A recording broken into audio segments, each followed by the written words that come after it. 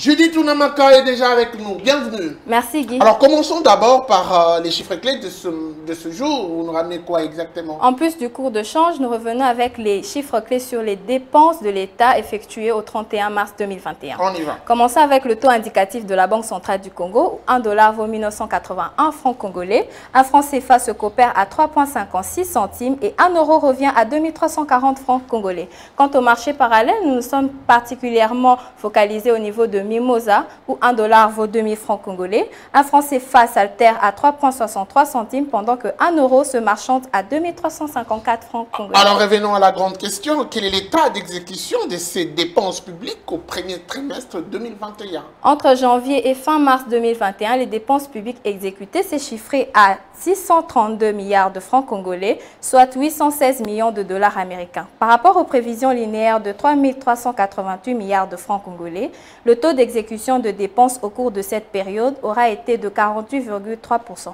ce qui signifie que plus de 50% des dépenses publiques n'ont pas été effectuées. Parlons un tout petit peu de ces dépenses du personnel. Qui ont, comment est-ce qu'elles ont été, elles ont été structurées? Faisons un gros plan sur euh, la rubrique des dépenses du personnel.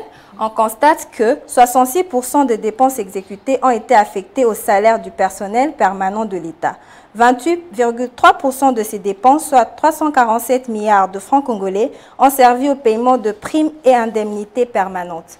Les autres dépenses ont consommé 5,7%, soit 69,9 milliards de francs congolais. Elles ont couvert les paiements de la dette publique, des prédations et transferts aux provinces. Alors parlons un tout petit peu de ces financements, de ces dépenses du trésor public.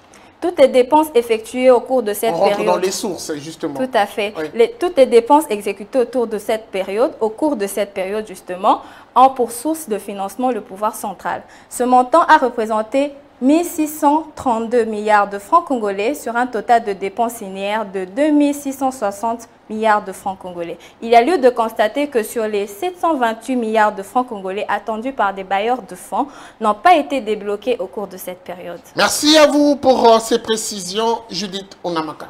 Merci Guy.